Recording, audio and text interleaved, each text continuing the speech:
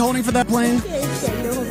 Word breaking that wall. Alex, I am tall and I'm also freakishly handsome. And we have a lot in common because I too am a massive fan of platinum winning Grammy recording artist Tom Petty. Yay! But that's not what it was for. I was just being petty.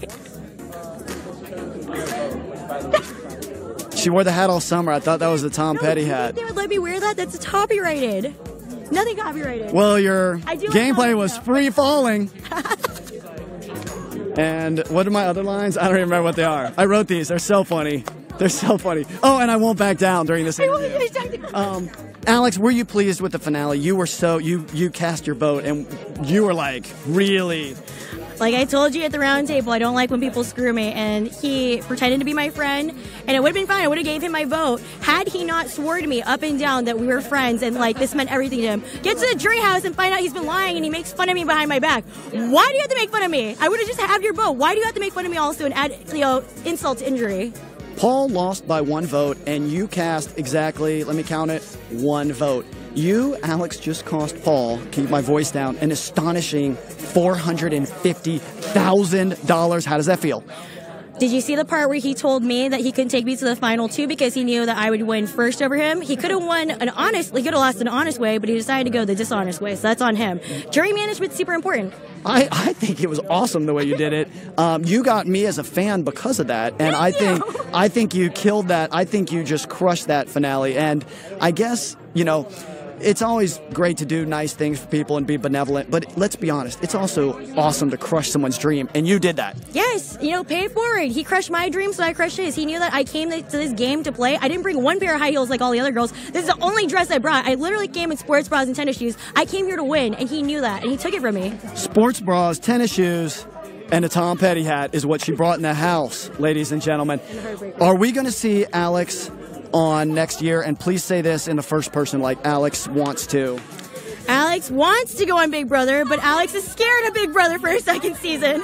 She needs to decompress, but I think we can. I think we can like rebuild you stronger, faster, better next year because. No competitions. But don't throw competitions. But uh, the vets do have vets do have an incredible advantage. Last year, Nicole won; she was a vet. Rachel Reilly has won; she's a vet. Paul came back second place; he's a vet. Dan Gheesling went a really long time; he was a vet. If you come back as a vet, what is that vet secret? Why do they do so well? They know how to play the game and they know how to play it well. They know the ins and outs. They know how to manipulate people because the first time all these people come through, like Nicole was super sweet, Paul was super sweet, they have to get a tougher skin. And I think, I think I could have that, but I just, I don't want to play aggressive. Obviously, I can play aggressive. I just don't want to. I think you could come back and absolutely crush it because you clearly have all the characteristics and you just kind of made that one move, which was trusting Paul. And you have to trust someone. It wasn't a terrible move because it easily could have been you, uh, Jason, and Paul in the final three, but it just didn't work out that way. Yes. If we would have, the thing is, is if I would have trusted Cody and me and Jace would have went with Cody and his team, we would have actually survived a lot longer because there wouldn't have been as much mutiny in the end either. I think that Cody's trustworthy. I think Jason's trustworthy. I think we could have been the top three.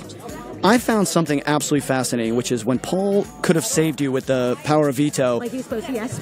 You you said he said, "Listen, I'm probably I, I'm going to paraphrasing, but he's like, I'm probably not going to do this.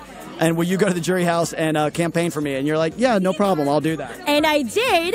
I kept my word. I went there, and then everybody was like, "You were the biggest joke to Paul," and he was making fun of you the entire time. And I was like, "Okay, nobody makes fun of me, so let's do everything analytically." We talked everything out, and I was like, "You know what? He played a good game, but he didn't have to play so saltily. He could have played a straight game. He could have just continued on the way he did, but he had to make fun of everybody and call himself the puppet master." The thirst is real. You can't use the phrase puppet master unless you ask the puppet master, and he should not have used that. There's a lot of showmances in the house.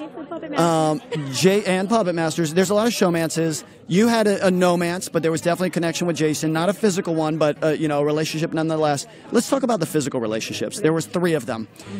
I think one's going to last forever. I think one's going to fizzle out, and I think one is going to result in a baby conceived tonight. You tell me which is which and which. Just behind me. Okay, was just point. Okay, she said Elena. No, no, No, no, no. I know who might have a baby, but that Okay, okay. So just wink. Oh, No, no. Okay, who's gonna have a baby?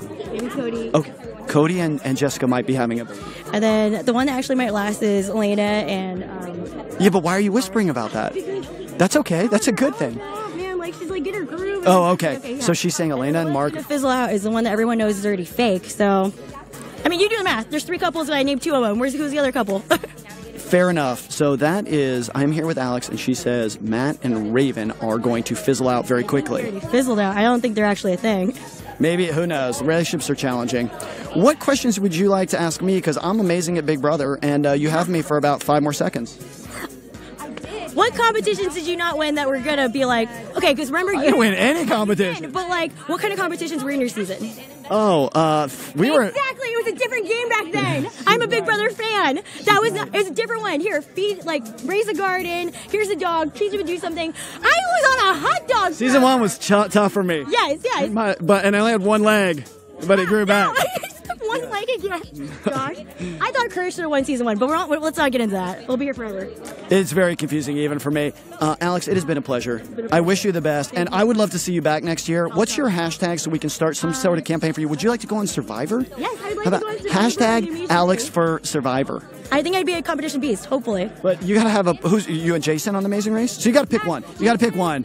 Like um, Ramses wants to go on Star Trek, so we're doing hashtag Ramses for Klingon.